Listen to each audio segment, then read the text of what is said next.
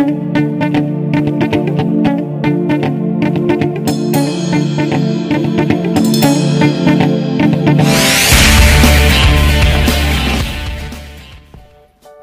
ดีครับ วันนี้ผมจะมารีวิวแกะกล่องของจาลาซาด้านะครับ วันนี้ผมสั่งแว่นถนอมสายตากรองแสงสีฟ้าไปนะครับ มารีวิวแกะกล่องดูกันนะครับ เพิ่งได้รับของเมื่อวานครับ เพิ่งมีเวลารีวิวของแกะกล่องวันนี้นะครับ มาแกะดูข้างในกล่องนะครับ ว่าการแพ็คของเป็นยังไงบ้างนะครับ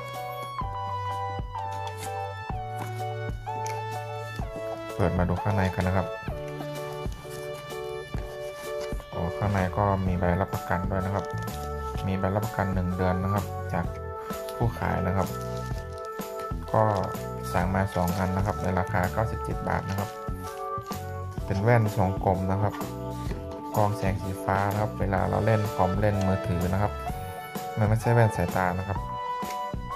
แล้วก็แถมผ้าเช็ดมาด้วยนะครับสองผืนนะครับไว้เช็ดโทรศัพท์เลยก็ได้นะครับ นี่ก็อีกผืนหนึ่งนะครับ เดี๋ยวเรามาดูแว่นกันนะครับ เป็นแว่นทรงกลมนะครับ ขอบแบ็คขอบสีดำนะครับโอ้ก็สวยงามอยู่นะครับ เอาไว้ใส่เวลาเล่นโทรศัพท์เล่นคอมนะครับกองแสงเวลาเข้าตาเรานะครับเนาะก็สวยงามอยู่นะครับ ราคา 97 บาทนะครับ ดูอีกอันหนึ่งนะครับอ๋อก็สวยงามเหมือนกันนะครับ ไม่มีบิดเบี้ยวนะครับ มีรับประกัน 1 เดือนอยู่นะครับ